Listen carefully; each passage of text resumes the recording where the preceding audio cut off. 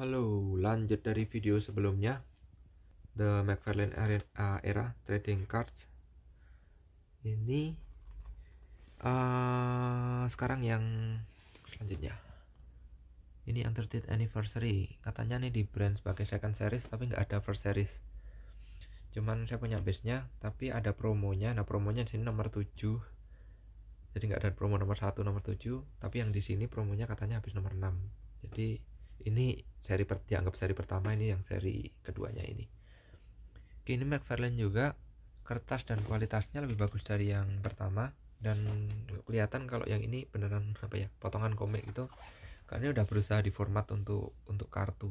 Jadi lebih ya kelihatan kebetulan ini cover ya jadi memang segini gambarnya ya. Tapi lebih apa ya kayak kalau kalau saya bilang gambarnya lebih uh, lebih fokus. Lebih fokus satu kartu karakter yang kayak gini nih dan karena ini McFarlane juga sama artisnya masih McFarlane juga semuanya. Uh, ya kalau ini gambarnya paling bukan paling ikonik. Kalau kalau komik Amerika memang masing-masing artis punya style dan menurut saya salah satu yang paling bagus punyanya si McFarlane ini Spiderman-nya. Saya suka sekali bentuknya kayak gini nih. Mark Bagley juga bagus. Ya kalau Romita senior dan kawan-kawan ya yang senior senior udah udah legend lah udah klasik gambarnya ya sekarang kalau standar sekarang juga ngerti. Mungkin ada yang nggak ada yang suka ada yang nggak tapi itu klasik. Terus Alex Ross itu juga painter bagus juga. Kok jadi ngomong yang lain? Nanti dulu ya. Ini McFarlane dulu. Ya saya punya komiknya juga.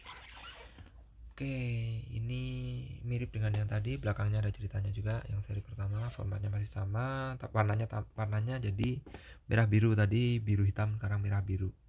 Putih warna kertasnya. Dan lebih nyaman dilihat kalau saya bilang kartunya lebih fokus gini lebih simpel daripada yang seri pertama. Ada di video lain ya saya tulis di deskripsi. Kalau ada yang mau lihat desainnya kayak apa. Oke ini kayak gini nih bentuknya kartunya.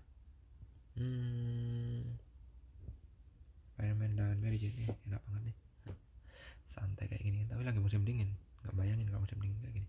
Ini dari cover cover komik di gambar ulang sama si Betty Brand First Love-nya Spider-Man bukan sih Betty Brand atau Felicia Hardy? Atau siapa ya? First Love-nya banyak. Oke ini ada Hulk ada Puma. Ini siapa ini ya?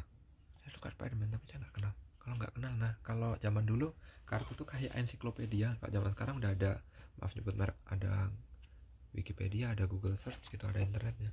Kalau zaman dulu ya oh The Ring Master kayak namanya dari, dari master saya nggak kenal ini saya suka Spiderman tapi nggak kenal. Jadi zaman dulu ini kayak ensiklopedia gitu. Dan saya senang nih punya koleksi kayak gini. Jadi kalau baca-baca ini siapa atau tokoh nggak tahu gitu. ya nggak penting juga mungkin ya tapi suka saja belajar kayak gini.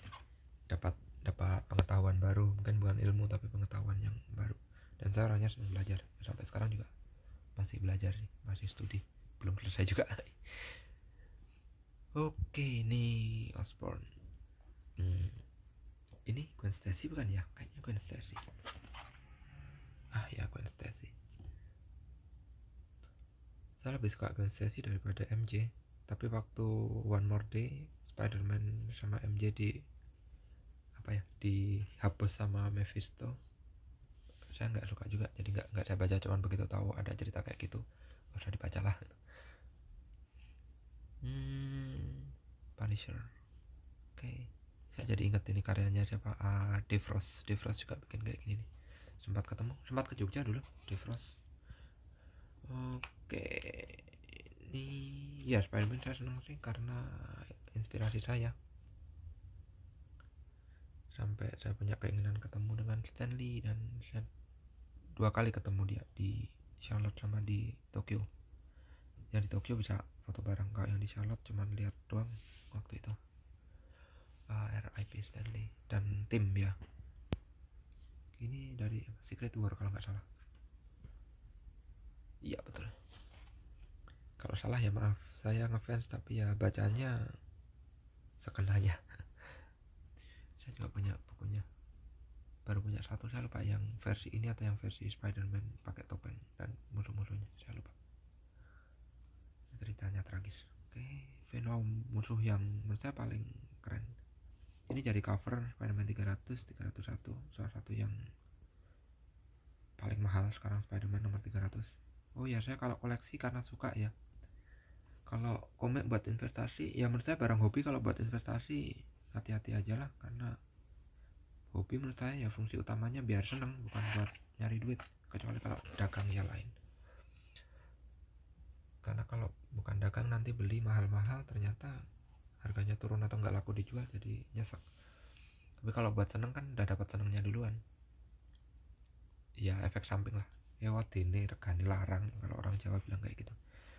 Efek sampingnya kalau harganya mahal ya itu bonus saja ini nomor 90 sampai nomor 90 ya?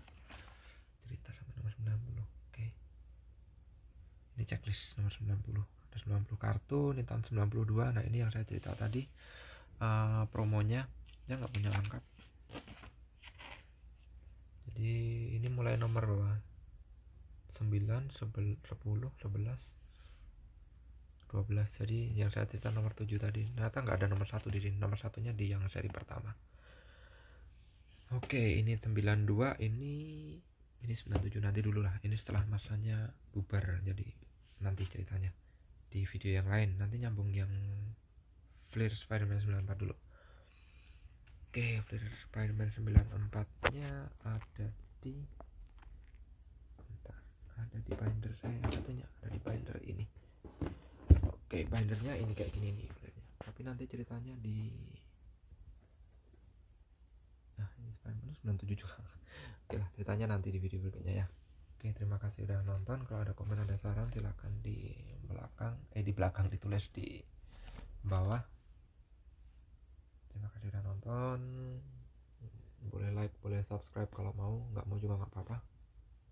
Uh, Jangan lelah menebar kebaikan. Stay safe, healthy. Bye bye.